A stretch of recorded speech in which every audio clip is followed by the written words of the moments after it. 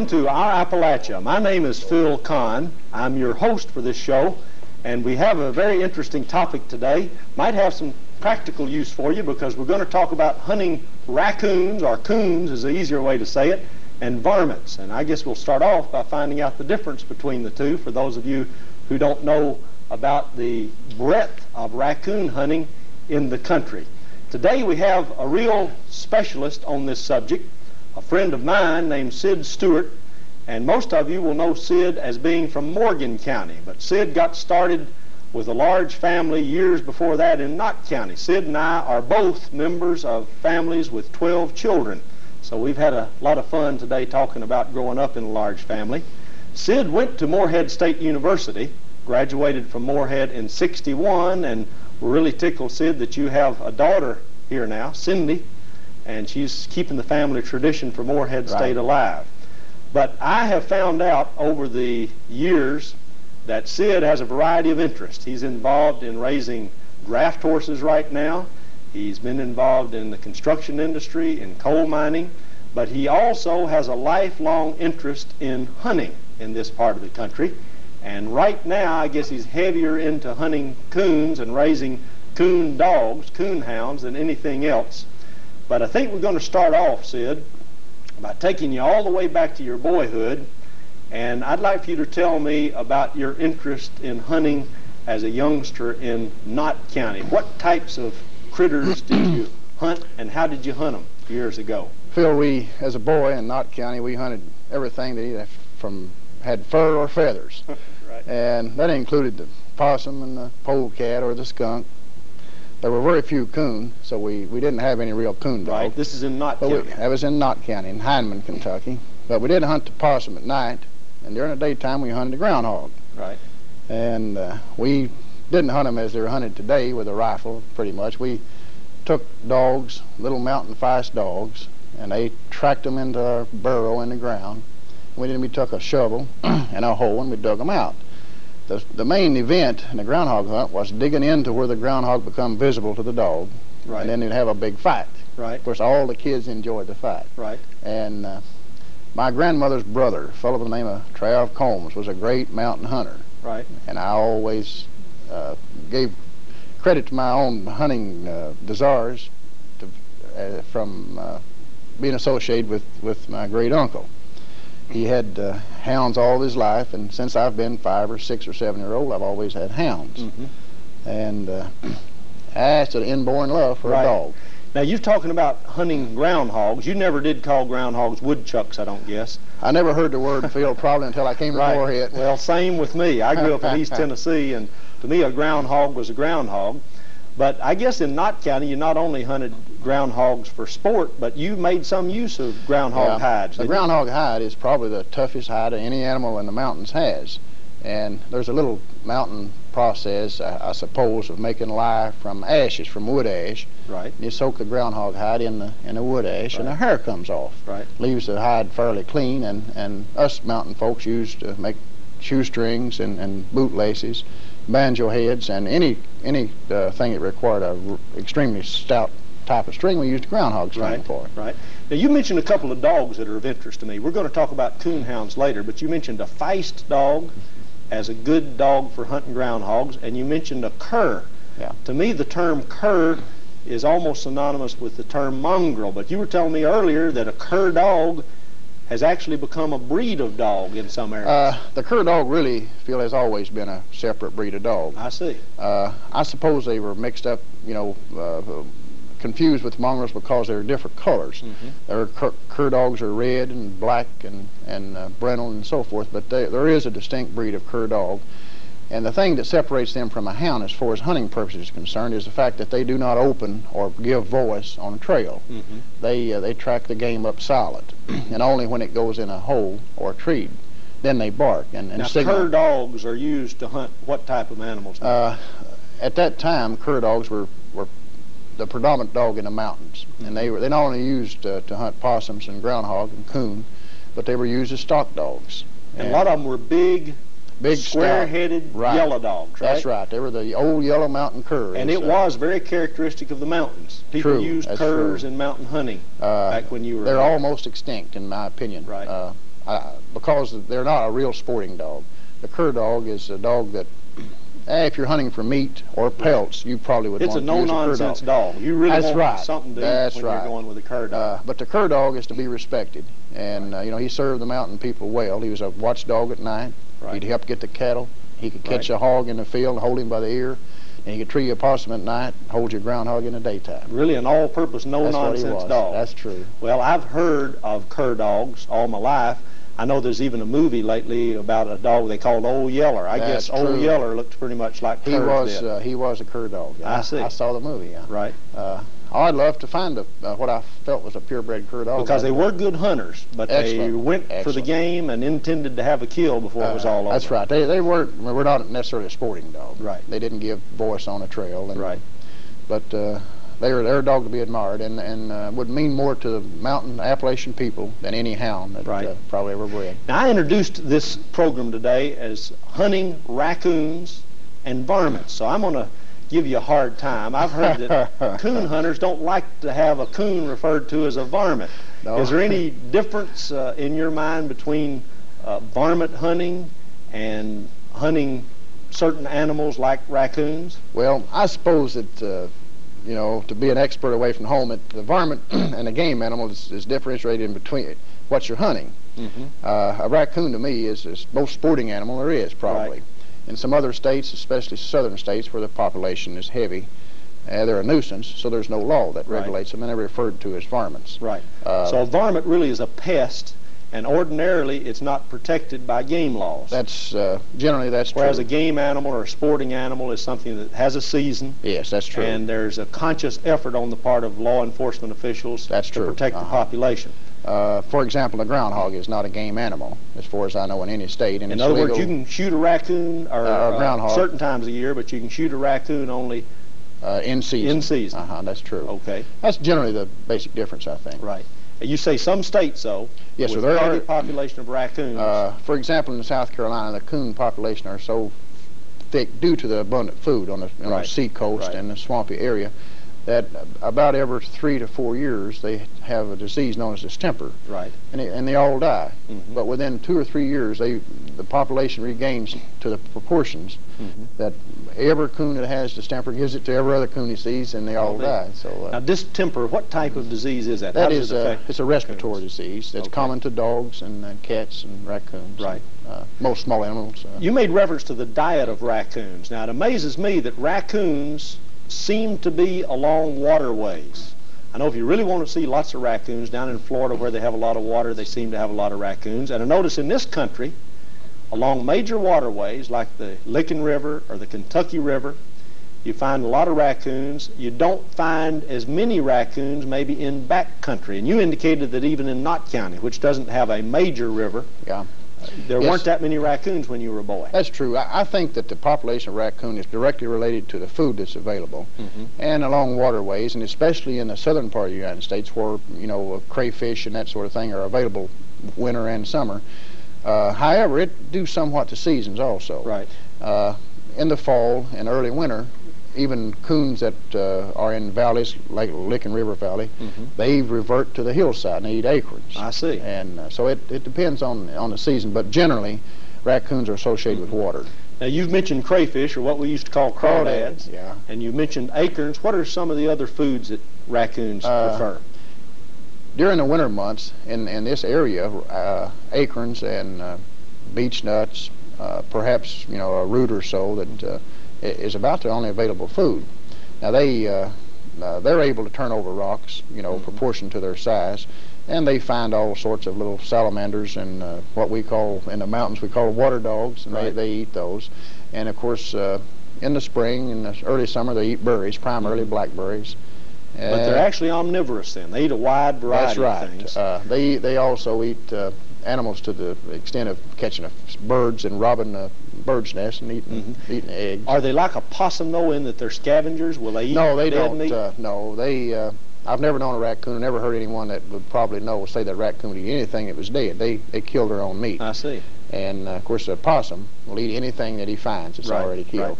Right. Even uh, they're cannibals. Cannibalistic Right. possums are. Well, you know that interests me because I've heard of more folks in my life eating groundhogs and possums than I have of eating raccoons. Now, a fella from near the Breaks area of Virginia and Kentucky told me that wasn't true where he grew up. Said they'd eat a raccoon because it was thought to be clean, and they wouldn't touch possums, and they wouldn't touch groundhogs. Uh, do people eat raccoons to this day? Yeah, people uh, in Morgan County, uh, it's not a regular diet, but uh, we do eat raccoons. I've eaten raccoons. In fact, I enjoy them. They're pretty much like beef, a Mhm. little bit stringy. Whereas um, I, I would assume the reason, Phil, that people can't eat a possum Right. is because of his physical appearance. Right. You know, his tail doesn't have any hair on it, and his, his feet are almost like little human hands. Right. In fact, they're uh, different color than uh, the rest of his body. And uh, as I mentioned earlier, perhaps I can mention also, he, his nose is usually pretty moist. Right, right, right. It's just not very appetizing dish. Right. A Even though, primitive looking animal. even though I have seen uh, possum cooked and, and on the table, and it's beautiful meat. Right. It, it looks like domestic d- domestic rabbit. It's, Mhm. In fact, it's snow white. Whereas a groundhog is a real dark uh, bluish meat. But people eat groundhogs uh, in this area Yeah, quite more than they do possum, Uh-huh. and certainly more than they do coons. They're uh, totally vegetarian, as far as I know, and that seems to make it easier for uh, Right. people to. Well, tell me about possums, as long as we've mentioned possums. Did people hunt possums with dogs when you were a boy? Yes, they use the cur dog. Right. and when he smelled the track, on the sign or the scent that the possum leaves on the ground, of course, he doesn't voice now. He doesn't Mhm. bark, and he trails the possum up, and he probably does. Possum doesn't know he's even being trailed, Mhm. so he can tree him. Right. now the purpose of that is so he won't go in the ground and Right. in a hole in the ground, so we won't have to dig him out. The possum was the primary sport of all teenage mountain hunters when Possum I grew up. right. Yeah, we didn't have uh, we didn't have very many raccoons, or we didn't have the dogs that were able to tree them. One or the other. I'm not sure. Well, every time I run upon a possum, it seems to be an awfully slow-moving animal to me. Can they move rather fast when you're chasing them, Uh, or are they a little slower? Well, no, they, they really can't move much faster than you see one run across the, Right. the highway in front of your car. But uh, they can climb real well, and they don't hesitate to do that. And then, of course, uh, a possum will uh, play possum, you know, if you know what a soul or uh, Right. pretend to be dead. They're actually easier to run down than many Yes, that's right, and be. and that's one of their basic defenses is just to pretend that they're dead. And but that doesn't uh, a dog instinctively knows when he's dead and when he's not. Right. So it doesn't really give him any defense. Doesn't help dog. much. That's right. Well, what about polecats? I'm sure you had never eaten polecat. I tell you, if anyone slipped polecat into a varmint dinner, I'd want to know about it. Uh, But I guess polecats, skunks, are the nemesis of coon hunters, maybe even fox hunters, because dogs will take out after a skunk from time that's to time. true. They love to run a skunk. I see. And do they generally let up as soon as the skunk decides to give its famous scent? They usually no, they usually don't uh, let up until they catch the skunk. And then and then of course it's quite evident when the dog comes back to you. It's what he's been But doing. when the air's full of the odor of a skunk, uh, dog will keep coming. Yeah, some dogs get physically sick Mhm. uh, when they when they're uh, you know in close contact with a skunk. Some don't. Mhm. Some will kill one and then kill another one. Uh, I'll tell you something that's peculiar to the skunk. And when one goes in a hole in the Right. ground, and if you know you're not sure what's in there, if he hadn't really been thoroughly disturbed, he won't you know he won't spray his scent, Mm-hmm. but he will pat his feet on the ground in the burrow, Right. and uh, he sounds. You've probably heard a rabbit thump Mm-hmm. maybe in a cage. So that's you can find out what's in there if you hold your ear down there and, and disturb him a little bit, and he'll You can recognize a skunk right, thumping. even though you don't see. and you're inclined to head on out and That's for more correct. promising game. you just Right. don't do any digging in that hole. Right, right. Why in the world is a skunk called a polecat? You have any idea? Have you ever heard any old timers? Really feel I, I don't know, but my grandfather, who was quite a mountaineer, uh, was asked that question once, and he told me he asked me, "Son, have you ever caught a skunk in a trap?" And I said, "No." He said, "Well, when you do, you'll find out what it is." And the real reason, Phil, I think, is when you trap a skunk in a steel trap, you have to cut a pole 10 or 15 feet long and get him on the end of the stick and take him to the stream and Right, drown him right. because there's no other way to kill him without getting sprayed. Right. And it is an effort, a genuine effort, to get skunk scent out of a dog's fur Oh, yes, or uh, out of clothing or anything else.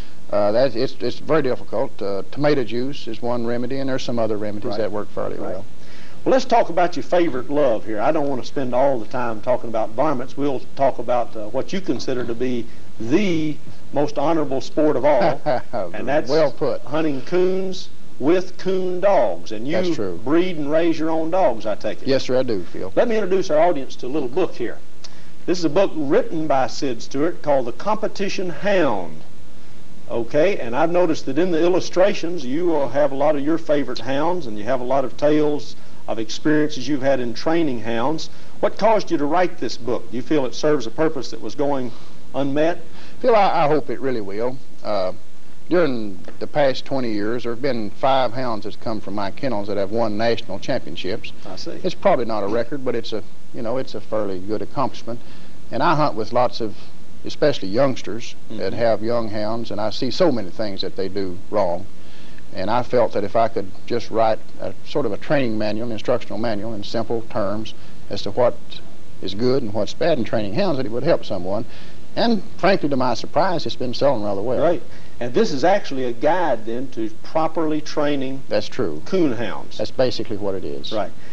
So give us some of the basic things you're after. Number one, in breeding a good coon hound. Okay. The, the old timer or mountaineer's theory was breed only the best of the best and kill all the rest. Mhm. And I suppose that's how we really got to have hounds that uh, have enough instinct to want to tree game. Mm-hmm. Uh, but the base, uh, first basic step in, in uh, selecting a coonhound is to go to someone who you know you feel has some knowledge and, and select a quality pup. Mm-hmm. And of course, I've outlined in the book the health procedures, a lot of worming problems, and distemper and hepatitis Mhm. and leptospirosis, those diseases.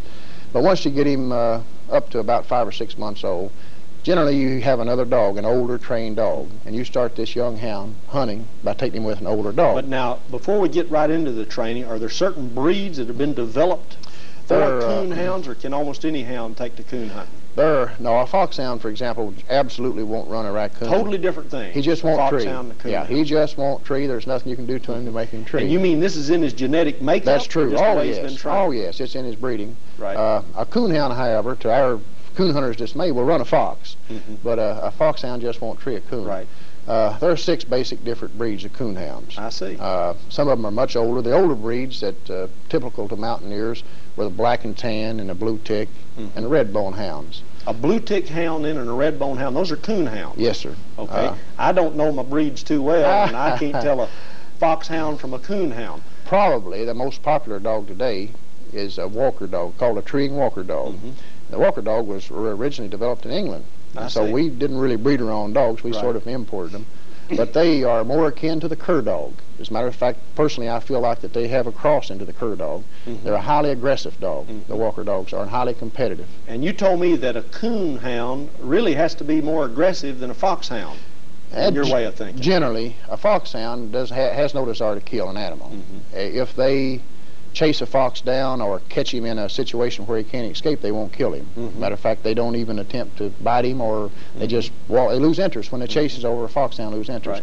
A coonhound is a uh, they're basically a killer dog, Mhm. and that's why they chase the coon. They Mhm. desire to kill him.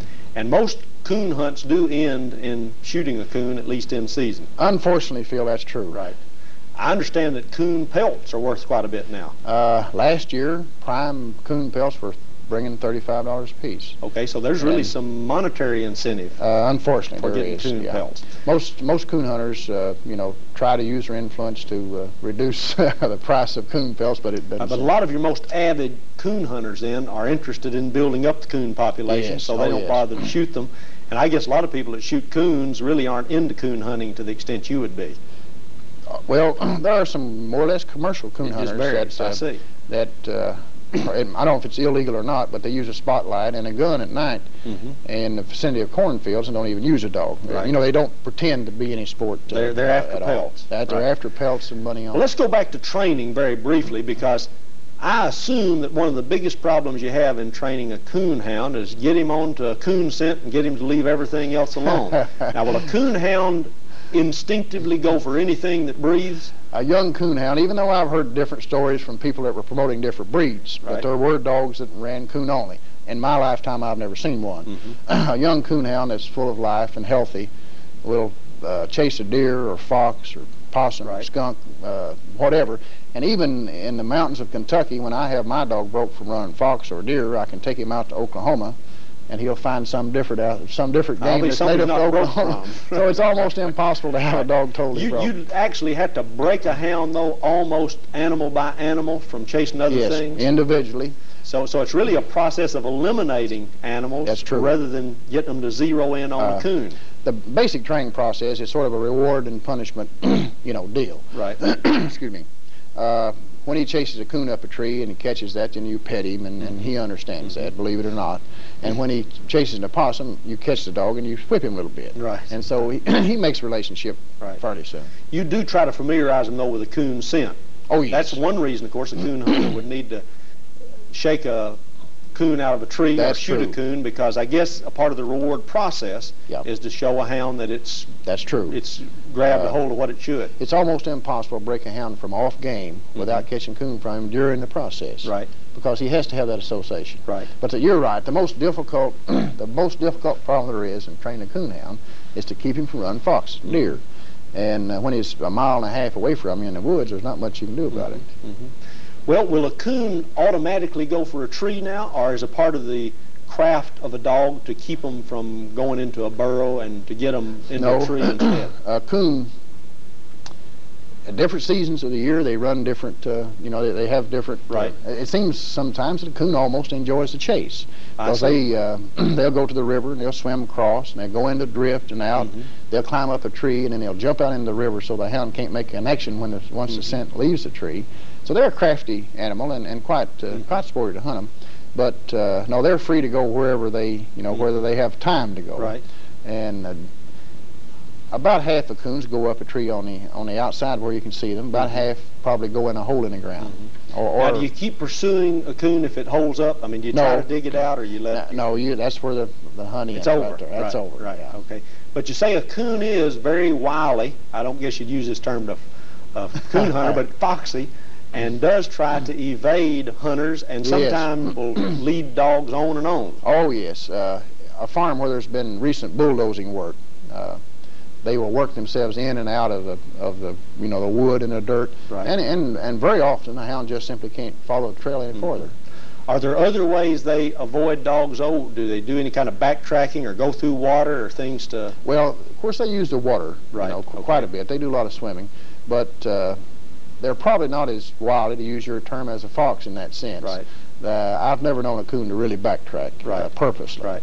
You were telling me something earlier, though, that was fascinating to me. I asked you if possums really like persimmons, like the stories have it. And you told me they not only like persimmons, but that the scent of persimmons and even the scent of the little berries, I guess seed pods on red cedar, can throw dogs off. Is That's that right. true? Somehow or other, it, it has effect on the scent, Mhm. scent pads on a on a coon's foot.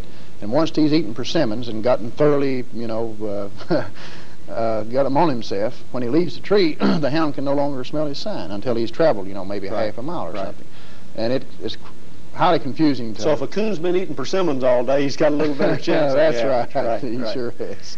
You know, I've often heard that raccoons are very clean animals, and the reason they're said to be clean is because folks will say, well, look, a coon will wash everything it eats. And I have observed, as most people have, a raccoon taking food and dipping it in water. Mhm. Uh, I'm sure that that doesn't have a whole lot to do with cleanliness because I've seen them dip garbage in water. Why do coons put food in water? As well as, as I've been able to understand, Phil, the real biological reason is the fact that they have numerous nerve endings in, mm-hmm. their, in their toes or their fingers. And when they moisten those, it has a tendency to make them more sensitive. Right, And I assume that's probably true. right, right. Well, you know, a lot of folks kind of view coon hunting as what you might call a poor man's sport, but you've kind of enlightened me in that regard. I guess I should show the audience here a very attractive magazine called The American Cooner. Matter of fact, that's a dollar and a half for starts. And that is a monthly magazine, I take it, Uh-huh. and deals with coon hunting nationwide.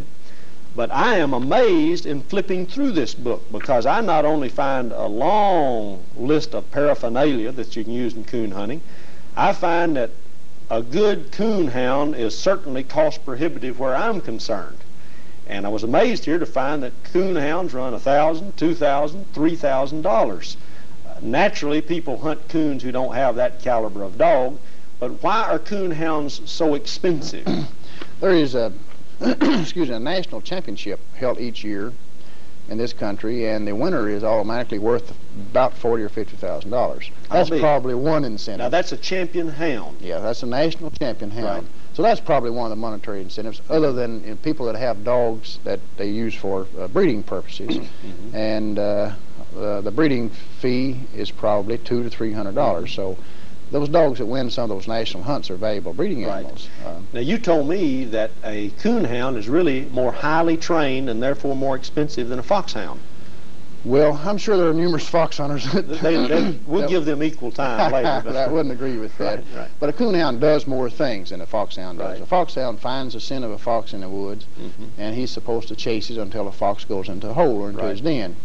While a coonhound has got to find the scent of a raccoon, and he chase it up a tree and then stay at the tree for hours. Mhm. Sometimes, especially if his owner's lost in the woods, Right, and announce by his barking where he is. right. So uh, I, I feel that that's probably requiring a little bit more from the dog than the foxhound. And even though I, I love the foxhound Right. too. Tell me very quickly, I'm going to give you a loaded question. We don't have much time, Okay. but why is it that coon hunters have a lot of trouble with trappers? I've talked to a lot of coon hunters who say that what's ruining coon hunting in this country is all these dang trappers cleaning out all of our game. Well, of course, as a boy, I trapped, Phil, so I, I wouldn't want to be too hard on the trappers. But trapping a coon hide is a commercial kind of uh, endeavor rather than, in my opinion, a sport. Uh, Mhm. I really wouldn't consider trapping a sport due to the cruelty that's dealt to the animal that's caught in a steel trap. But the big reason that coon hunters dislike trappers is number one, the dogs get caught in a trap chasing a coon at night along the riverbank, and number two is it destroys the coon population. And uh, to lose a good hound in a trap is a is a dreadful thing. Right. Well, I hate we're going to have to wrap it up, Sid. It's been a fascinating discussion, and I want to continue this discussion with you some other time. But right now, I want to welcome Sid Stewart again to the campus and certainly to our program, Our Appalachia. it's been a very fascinating topic, and I want our audience to join us again next week as we share with you another discussion that has to do with the culture and the heritage of the region around us. Thanks Thank a whole Phil. lot. Thank you, Phil.